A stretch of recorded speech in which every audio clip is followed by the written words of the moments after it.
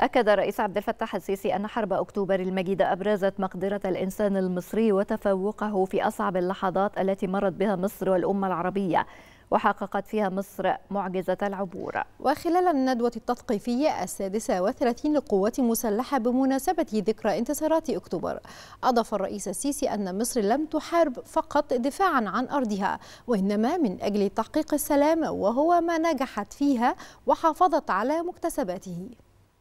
تحتفل مصر اليوم بذكرى التاسعة والأربعين لنصر أكتوبر المجيد.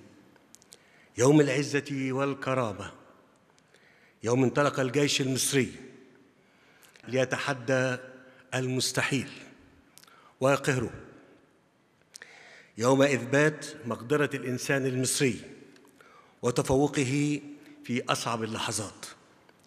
التي قد تمر على أي أمة إن يوم السادس من أكتوبر الذي حققت مصر فيه معجزة العبور كان يوما مقدرا له أن يظل خالدا.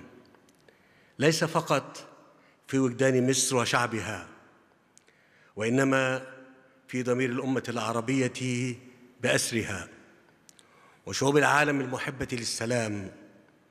فمصر لم تحارب فقط دفاعا عن أرضها وإنما من أجل تحقيق السلام.